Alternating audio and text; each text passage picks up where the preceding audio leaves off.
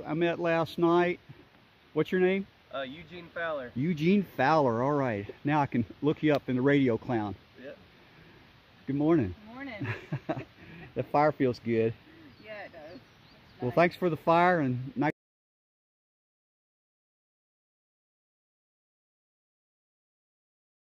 All right, it is 7:55 and I am on the trail. This is day 5. And I have something somewhere around another 12 miles to the camp I want to get to, which would put me up to summit uh, Sassafras Mountain early the next morning. And it'll be from that campsite will be roughly another 12 miles to finish the hike. So, all going well. Let's see what encounter today. Okay, not out of the campsite yet, and I have to video this uh, suspension bridge because it is really moving on me. Let me hold on to my phone real good. It's not a real big one, but it moves.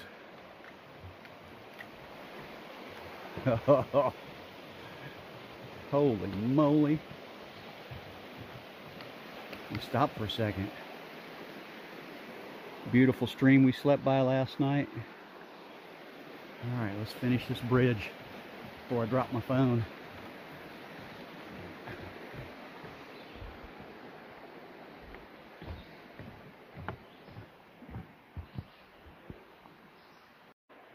Someone spiced up this trail marker.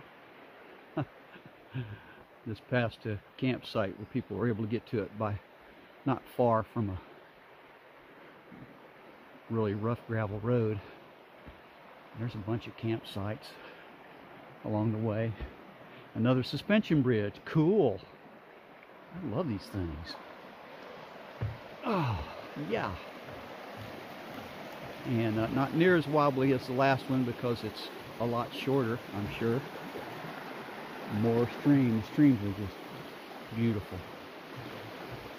I took a bath in one last night. Well, I took my shirt and okay, which way do we go? This is one of those back gravelly roads. Other than uh, other than these, actually, I don't know what it's like in the 100 mile wilderness on the Appalachian Trail, but this trail, in a way, is similar in that you're way out, man. For 76 miles, you have hardly any way to get off. I mean, there's nobody going to be going down that gravel road for hours, if not a day or two. Another campsite. So, yeah, what I really love about this this hike is that you have uh, you have a lot of waterfalls, a lot of running river, so you've got plenty of water, water everywhere, plenty of campsites, and uh, that's just hard to beat. So you don't have to pack much water. All right, I'm pretty sure we're going to be turning into the woods here again. This road, well, nope. Ah. Oh, I see the marker up there. Up here we're going to be turning, but how do I can get through it through it here?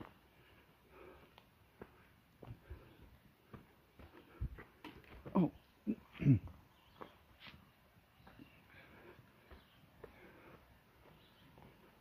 This is welcome to Laurel Fork Creek Valley.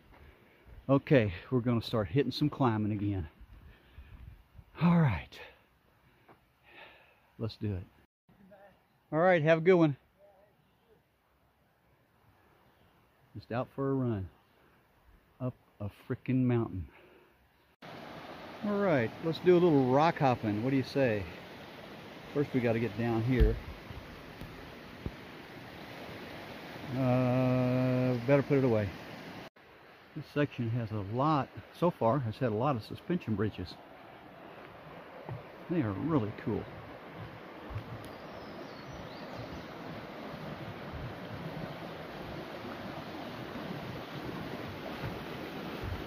This one's pretty wobbly. Now I'm doing it on purpose, but just walking I wasn't.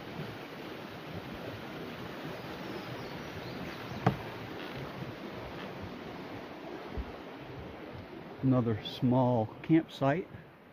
Looks pretty cool. Oh yeah, this will be nice. All right, this is a new type of bridge they're doing, and it they are really stable the way they put the put the rails on with big cross beams. I mean, you get on this thing, at least. Oh yeah, this baby is solid as a rock. A lot different than the suspension bridges. Just met a guy coming in, going for a day hike. There he goes.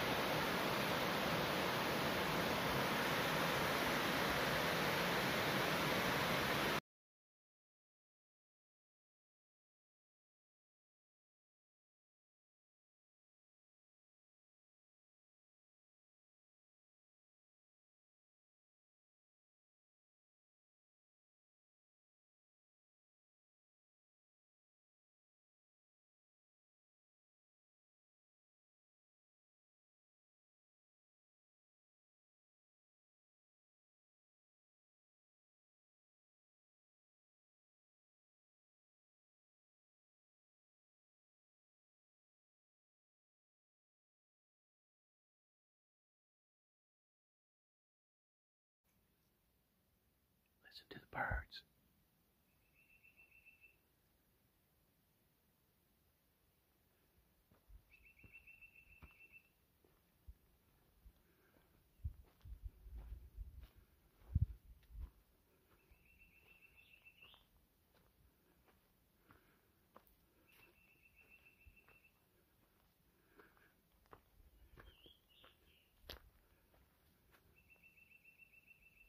They are really singing.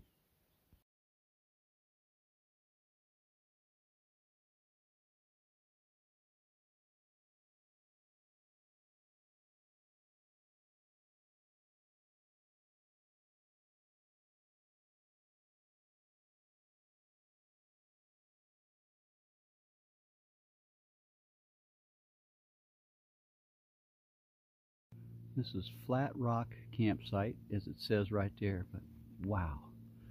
Wouldn't it be great to make this one of your stops if the time permitted? Plenty of tent space. Hammocking if you've got hammocks, whatever.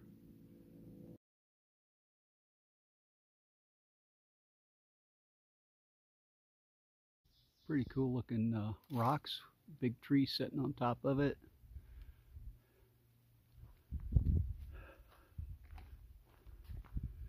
Think it's uh, listed on the gut, Guthook hook slash FarOut app as rock formation.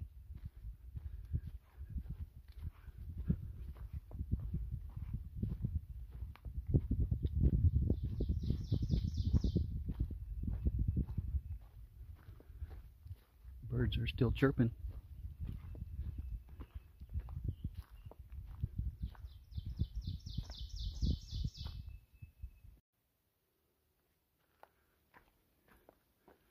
I think you can see the road way down there.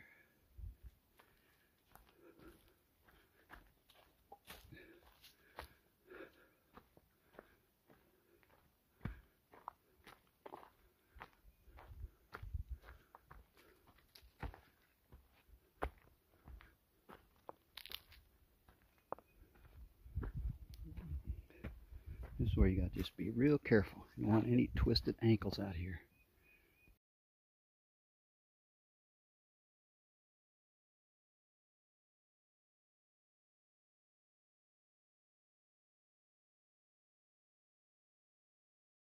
Okay, this is the last blacktop.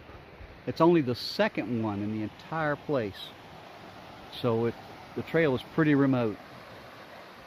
Crosses right over there where we're going to cross and then uh, we start working our way towards Sassafras.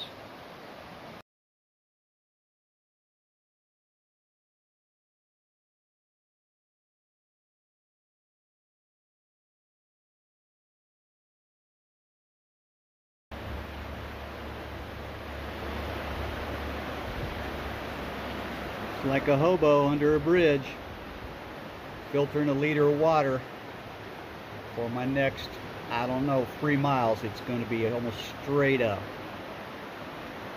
It's going to be a really tough climb. But there's water at the campsite, supposedly, so I'm only going to take a liter. That ought to more than do me.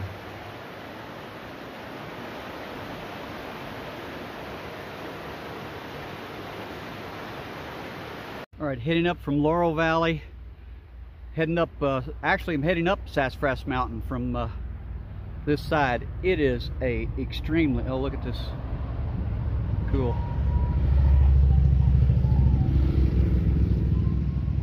This is a popular motorcycle road with all the curves and hills. But I'm headed up, uh, I did a, the, I'm trying a rating system of the, the total descents and ascent from one point to another. And uh, this one is the highest I've seen. It's all, almost right at 500. The toughest ones that we had on our last Appalachian Trail hike was was in a 450 range, and uh, most of this has been the 350. So this is going to be a killer hike, 3.7 miles to the campsite, and then tomorrow morning I should be in real good spot to summit Sassafras Mountain.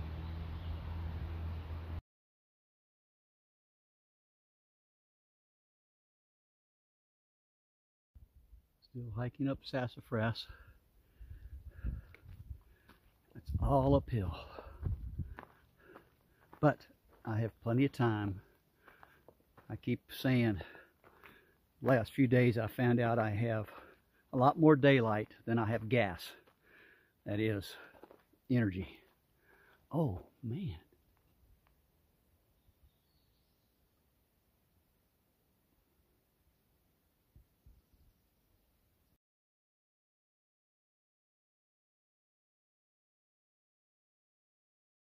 This is Chimney Rock Campsite. Taking another little break. Some people hiking up there. That's the trail. I walked a little ways down. I may have to get water I gotta decide if I want to carry water. That's a huge rock. Ooh, you could sit in there in a storm. You could sleep. Cowboy camp under there. It's filled up with water. I got a full liter and a half and chugged a bunch, cameled up they call it, because I'm not sure of the water situation at the campsite that's the approach to the summit where I'm going to spend the night. So it's a little heavy and I got 2.7 miles to go. There's going to be a whole lot of up. Alright, this is one I think I can do without out both hands. Second thought, forget about it.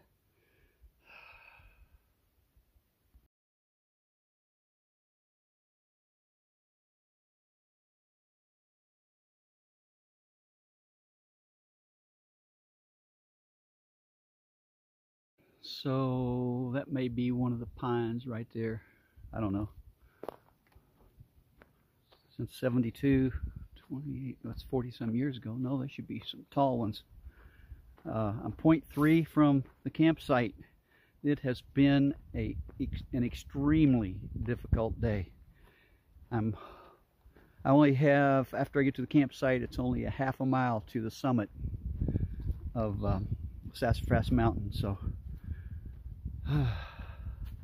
we'll see how I feel in the morning. Whether I want to uh, try to get up to catch a sunrise.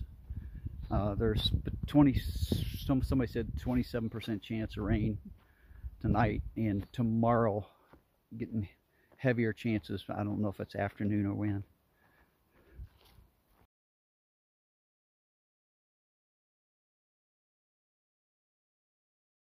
All right, I have arrived at Big Rock. That's a big rock. And Big Rock campsite.